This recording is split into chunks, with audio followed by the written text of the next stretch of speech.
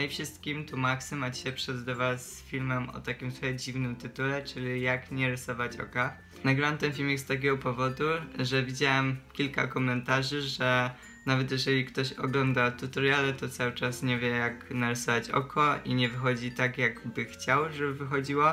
Dlatego dzisiaj pokażę Wam kilka takich klasycznych błędów podczas rysowania oka i mam nadzieję, że czegoś się nauczycie. Zapraszam Was do filmu. Mój rysunek zacznę od podzielenia kartki na dwie części. I po tej stronie znajduje się oko, którego nie polecam Wam rysować, a po tej stronie narysuję oko, które ja osobiście rysuję. To, czego Wam zdecydowanie nie polecam robić, to rysować oko jak taką cytrynę niechlujną, nie wiem jak to powiedzieć, po prostu takie przedłużony okrąg. Niekoniecznie wygląda to dobrze. Tutaj pokażę Wam jak. Czyli zaczynamy od narysowania kącika oka. Później przechodzimy do narysowania tego właściwego oka. Tak samo z tej strony kącik.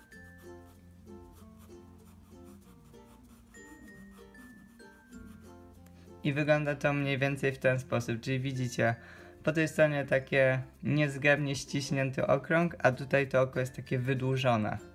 Teraz przejdziemy do kącika oka. Tutaj nie ma miejsca, dlatego zrobię po prostu taką kreskę.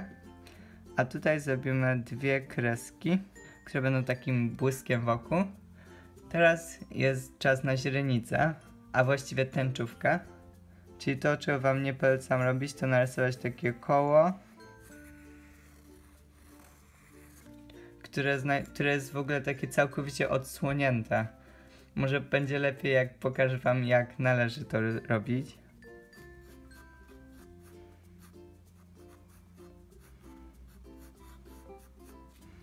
Zawsze kończę tutaj na samym dole.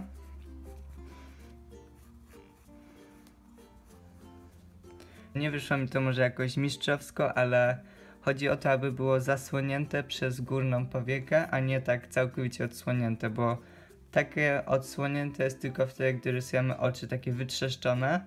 Natomiast jeżeli rysujemy normalne oko, to zazwyczaj po prostu jest to tak. Teraz przechodzimy do górnej powieki i często jest ona pomijana, czyli nie narysuję jej, bo i to będzie jako błąd. Natomiast górna powieka znajduje się tak naprawdę w każdym oku i po prostu nie pomijajcie jej, zawsze pamiętajcie, żeby ją rysować. Tak samo znajduje się dolna powieka. Teraz przejdę do rysowania rzęs i to jest po prostu masakra. Na pewno nie rysujcie rzęs w taki sposób. Takie pojedyncze kreski, proste, niechlujne. Sam takie rysowałem, gdy zaczynałem, więc całkowicie Was rozumiem. Rysowanie rzęs jest bardzo trudne, miałem z tym duży problem przez wiele miesięcy. Dlatego nagram poradnik, jak rysować rzęsy w przyszłości. Zaczynam to zawsze tutaj od środka, rysuję kreskę w górę i na dole jest troszeczkę szersza, a później się robi taka lżejsza. I też rzęsy rosną w takich kępkach.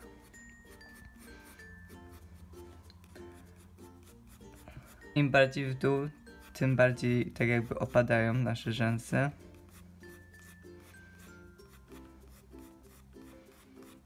Natomiast tutaj na początku robią się takie coraz krótsze.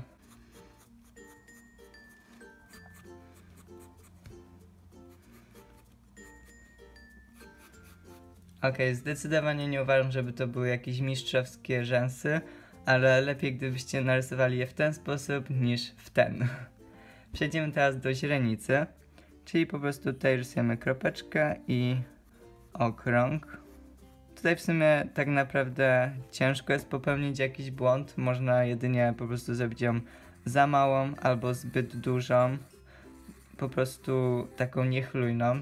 Narysuję również rzęsy dolne, które osobiście rysuje mi się jeszcze ciężej niż te górne, ale warto je zaznaczyć delikatnie. A tutaj to po prostu takie niechlujne kreski. Na tym etapie możemy przejść do cieniowania. Użyję teraz twardszego ołówka i błąd, który często jest popełniany, to zostawiamy to białe, czyli białko wokół. Oko zawsze jest troszeczkę ciemniejsze niż nam się wydaje. Oko jest tak jakby kulą, czyli po prostu musimy zaznaczyć tą kulę poprzez cieniowanie. Nie zostawiamy tego całkowicie białego, tylko cieniujemy.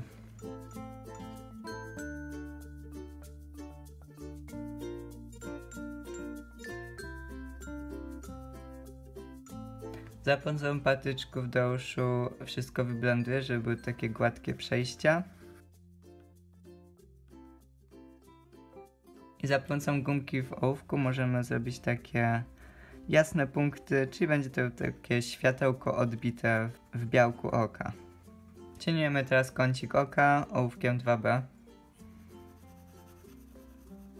I kącik oka jest zawsze ciemniejszy niż białko w oku.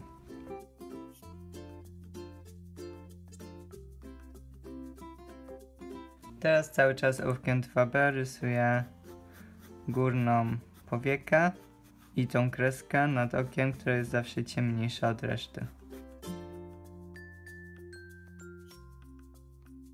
Za pomocą czarnej kredki rysuję tą źrenicę i pamiętajmy o tym, żeby zrobić miejsce na światełko w oku, czyli taką, takie kółko w kółku.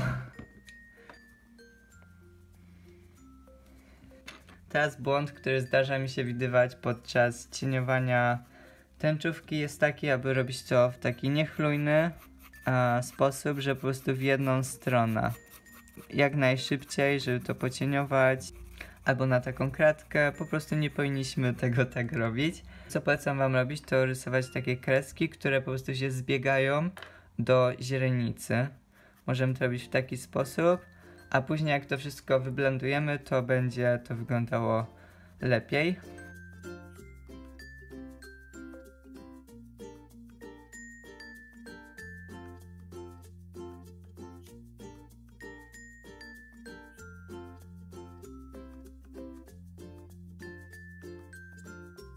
To na co powinniśmy zwrócić uwagę jest to, że środek jest trochę ciemniejszy i tak samo brzegi oraz góra, dlatego że rzęsy rzucają cień i dlatego góra jest zawsze ciemniejsza.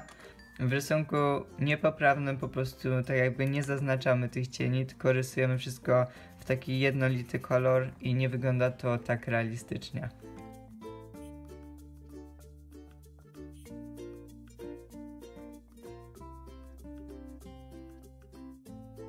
Chyba zakończę na tym, bo nie chcę, żeby to trwało jakoś dla mnie bardzo długo. Jeżeli chcecie znaleźć pełen tutorial na to, jak rysuję to oko, to zapraszam Was do linku w opisie, bo dodałem film, jak rysować realistyczne oko. Na rzęsy zrobię poradnik w przyszłości, dlatego zostańcie ze mną. Będzie na tyle. Mam nadzieję, że filmik okazał się dla Was pomocny i jakieś moje wskazówki pomogą Wam w przyszłości w rysowaniu oka. Jeżeli spodobał Wam się filmik, to zostawcie jakiegoś lajka i komentarz, a jeżeli jesteście nowi, to zasubskrybujcie kanał. A moje inne social media są na dole, więc jeżeli chcecie być na bieżąco z moim Snapchatem, Instagramem, to mnie znajdziecie. I widzimy się w następnym odcinku. Pa!